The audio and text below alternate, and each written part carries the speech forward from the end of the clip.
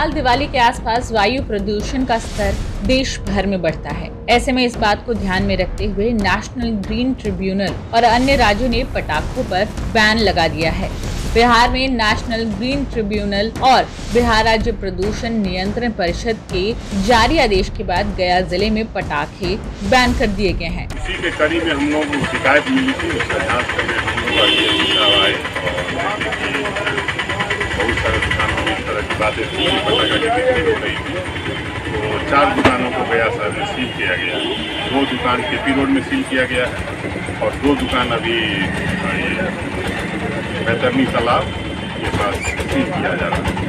हाँ पहले हालाँकि ये हमसे बार बार एक्सपेरिमेंट भी किया जा रहा है। हम पेपर में भी छप रहा है। मीडिया आप लोगों के माध्यम से भी लोगों को बताया जा रहा है कि का इस तरह से फैसला आ गया है।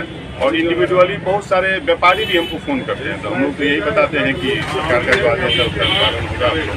एरिया हटा दीजिए तो जो भी है, अगर लाए होंगे तो ग्रामीण क्षेत्र में यूज़ कर सकते हैं। शहर में उसका कोई न बिक्री होगा और न ही शहर में इसका इस्तेमाल शहरी क्षेत्र में ये सदर अनुमंडल पदाधिकारी और टाउन डीएसपी ने दुकान को छठ पर्व तक सील कर दिया है। बता दें कि दीपावली के दौरान हवा में पीएम 10, पीएम 2.5, SO2, NO2 के अलावा हानिकारक धातुओं जैसे आर्सेनिक लेड निकल जैसे तत्व पाए जाते हैं जो वायु और पर्यावरण दोनों के लिए हानिकारक होता है।